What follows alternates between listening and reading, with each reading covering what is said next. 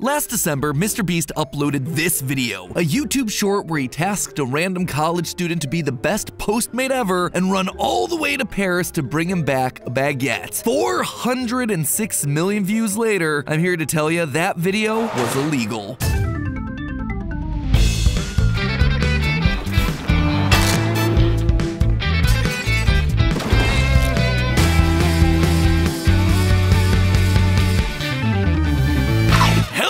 Internet, welcome to Food Theory, the show that's always down to break bread with Mr. Beast. That's right, good old Jimmy D is back. Not the sausage guy Jimmy Dean, the dough guy Jimmy Donaldson. And by dough, I mean money. This man is the living embodiment of extravagance, whether it's eating $1,000 golden cookies, $10,000 golden steaks, $70,000 golden pizzas, or $100,000 golden ice cream. The Mr. Beast motto is literally nothing in moderation. If it's not coated in in then it's the world's largest pizza slice. And if it's time to cut back, well then, he's just gonna skip every single meal for a month straight. An unexpectedly dangerous stunt that we've actually covered previously on the channel. But sometimes Jimmy is a simple man with simple taste. Sometimes he just wants a loaf of bread delivered straight to his door directly from Paris. So how do you do that, you might ask? Well, you just wander around a college campus offering increasingly large amounts of money to anyone who walks past. Unsurprisingly, finding a willing participant didn't take him too long. If I give you $300 would you fly to Paris and bring me back a baguette? By the way, shout out to Duke University's campus for that one. And recognize that old stone archway in the background anywhere. Gotta admit, I am a bit bitter that no one ever did anything that exciting or profitable while I was a student there. The best I could do was just selling my body to science labs for like 20 bucks an hour. And all I got to show for it is a third arm and some glow-in-the-dark skin. Anyway, what follows this simple request is a delightful YouTube short where our intrepid adventurer catches a flight, grabs a dozen baguettes, and before heading back to the airport, takes a detour to the world famous Louvre Museum to see the Mona Lisa, then catches an evening under the stars at his hotel with a beautiful view of the Eiffel Tower in the background all lit up. Add in the costs of the plane ticket and travel accommodations for both the delivery boy and the camera operator, and whoo boy! Two round trip tickets to Paris, $2,000. Overnight hotel,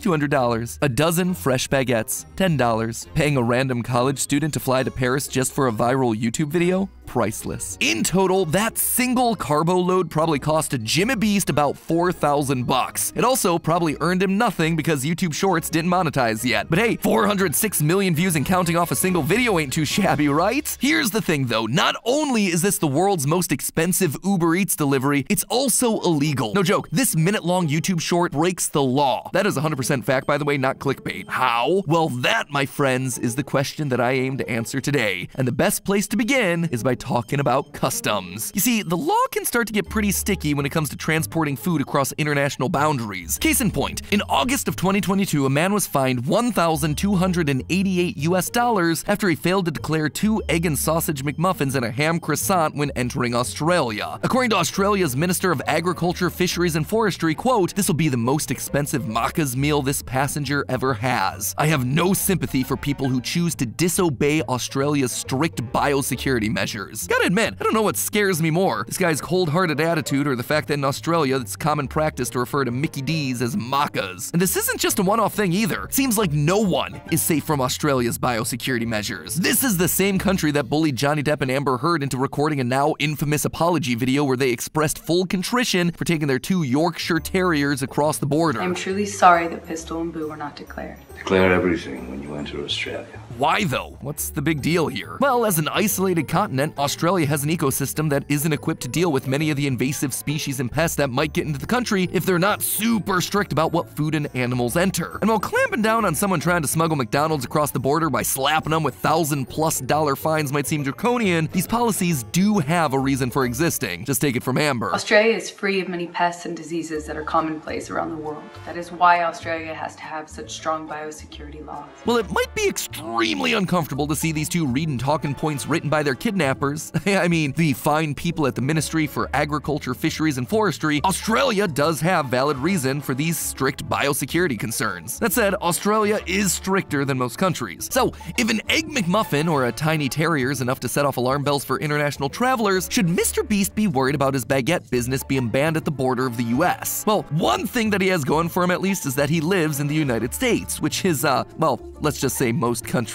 aren't as strict as Australia. And Australians are just as unique, both warm and direct. When you disrespect Australian law, they will tell you firmly. So, do those fresh baked French loaves have legal permission to enter the country? Even if US restrictions are lighter and generally just result in your forbidden food being flung into the trash, the United States does place restrictions on what food items can enter the country, and those restrictions are laid out in great detail on the US Customs and Border Control website. So, is Mr. Beast's basic baguette making it through customs? Well, reading through the 6,700 word list of prohibited and restricted items, we find that their main concern is actually about meat products. Quote, bush meat made from African wildlife and almost anything containing meat products, such as bouillon, soup mixes, etc., is not admissible. The rationale for this is that meat products are often one of the biggest sources of foodborne pathogens, including nasty little parasites that, after they've wormed their way through your digestive system, they can then worm their way into the water supply. As for restrictions on plant-based items, the US regulations explicitly mention that, quote, some plants, cuttings, and seeds that are capable of propagation are only allowed with proper import permits and other documents. In addition, every single plant or plant product, including handicraft items made with straw, must be declared to the CBP officer and must be presented to CBP inspection, no matter how free of pests it appears to be. Again, this makes a lot of sense. You don't want new invasive species of seeds or pests coming in and throwing off the ecosystem of your country. That said, when it comes to prepared food items, like say a baked baguette, they're very explicit about one thing that is allowed. Quote, you may bring bakery items and certain cheeses into the United States. Bingo for Mr. Beast's Baguette Bash. That part of the video is completely by the book. So if customs isn't the problem here, could it possibly be that moment alongside the Mona? I mean, this courageous cuisine carrier really leans into the whole baguette boy thing, apparently not letting those loaves leave his sight even when he's in the Louvre. Like, can you really get this close to the Mona Lisa carrying an open bag full of food? Yeah, actually, surprisingly, yes, you can. The Louvre allows you to bring food into the museum. Sure, you're not allowed to start chowing down in front of the exhibits, there is a no eating policy, but you're apparently allowed to bring in outside food and just carry it around with you. They're not particularly worried about the steam from your freshly baked loaves damaging any artwork. Or maybe these loaves are hard and not steamy at all by the time they got there, because just look at these things. They are out, they're exposed to air, they're getting drier with every passing second. Fresh baked baguettes like these will usually stay fresh for like two to three days, but that's only if you're really putting them in a bread box or somewhere where it's gonna contain them, keep them fresh and away from the air. In other words, Baguette Boy's strategy here of buying bread at the start of the day, then spending an entire afternoon sightseeing with the bread in tow before flying back the next day to deliver said bread after it spent more than a day marinating in the open air, it's not gonna deliver the freshest results. No wonder Jimmy dropped the rest of the bag after tasting one. I honestly just needed one.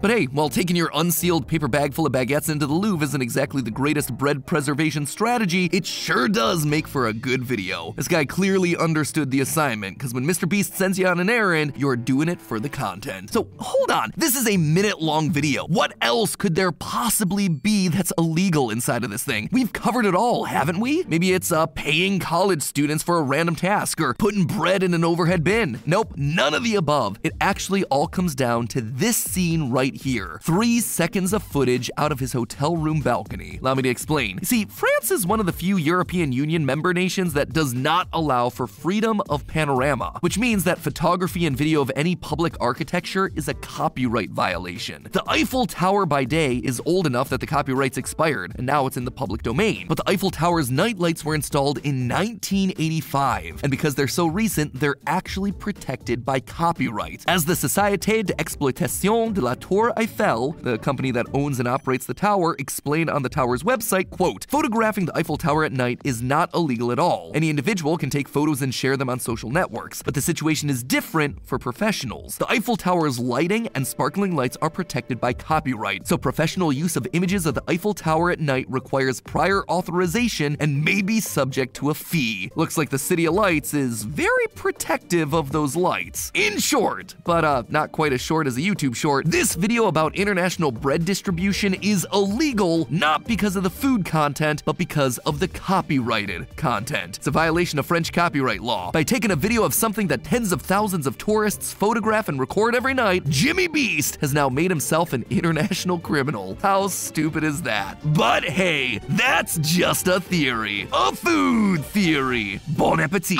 And hey, speaking of Mr. Beast, remember that time that he made Willy Wonka's chocolate factory into a real thing? Well, I ran the numbers and you'd be surprised by how realistically effective a chocolate waterfall can be. That video's over on the left. Or if you want to find out just how dangerous his challenge of going no food for a month was, that video's on the right. Do not try that one at home. Beg you. And as always, my friends, I'll see you next week.